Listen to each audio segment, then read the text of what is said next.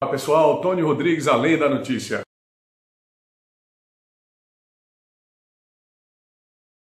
A mensagem do nosso vídeo é a seguinte: temos o livro O Consórcio do Crime, que fala sobre crime, mas que fala principalmente sobre os cenários idílicos, sobre os cenários poéticos, românticos e mais belos e encantadores do estado do Piauí, com a predominância sobre a cidade de Teresina. Então eu gostaria muito que, se possível, você adquirisse o nosso livro, O Consórcio do Crime. Está lá no Clube de Autores. Tá? Porque aqui a gente fala sobre o Poti Velho, com a riqueza dos detalhes apreendidos ao longo da vida. Fala sobre a Praça Saraiva, a Praça da Bandeira, a Praça Pedro II em Teresina, que é uma praça formidável. É, é conhecida inicialmente como Praça é, dos Negros, depois Praça do Educando, não é? porque ficava perto da, da Escola de Educandos Artífices, do Piauí, depois ela se transforma em Praça do Estudante, não é? Posteriormente, com a Guerra do Paraguai, nos anos 60 do século XIX, ela, ela é, começa a ser chamada Praça de Aquidabã. Praça de Aquidabã era um navio da Armada Brasileira que participou lá da Guerra do, do Paraguai. Posteriormente, em 1922, é chamada de Praça da Independência. E em 1938, o prefeito Lindolfo do Rego Monteiro transfere o busto de Pedro II da Praça Rio Branco, que é a antiga Praça do Comércio, para a Praça Pedro II. E ali ela fica definitivamente conhecida como Praça Pedro II.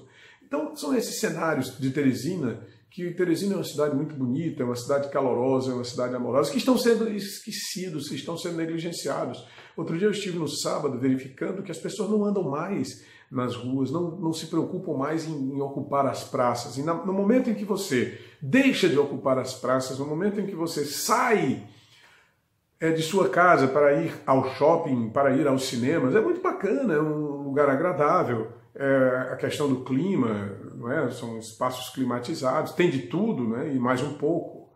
Mas isso não quer dizer que você deva abandonar os espaços públicos da praça, porque a praça é do povo, como o céu é do condor, como dizia o grande e imortal Antônio Frederico de Castro Alves, o poeta maior do Brasil de todos os tempos, não apenas do romantismo, tá bom? Então você vai lá na praça, ah, mas as pessoas alegam é muito quente.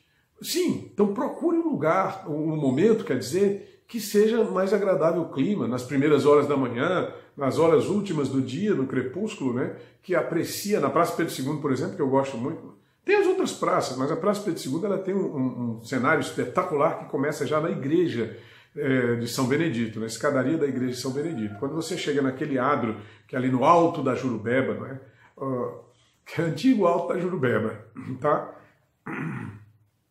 Você olha em direção ao rio e aquilo tem uma visão fantástica, não é? aquele lusco-fusco do crepúsculo, quando os raios do sol batem nas águas do rio Parnaíba.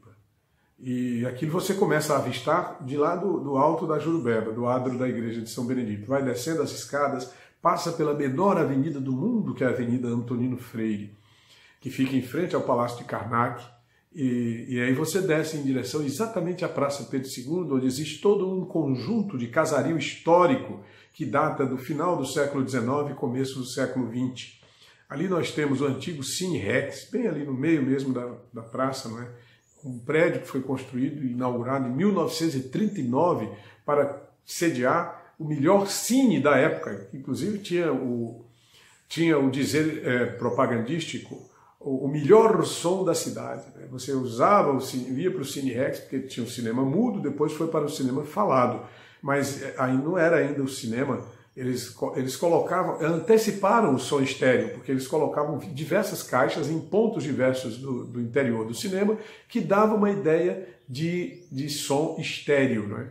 A sonorização se distribuía em diversas caixas de som e era um negócio muito bonito é, o, o, áudio do, dos filmes. Então era o melhor som da cidade, pela inteligência dos seus criadores.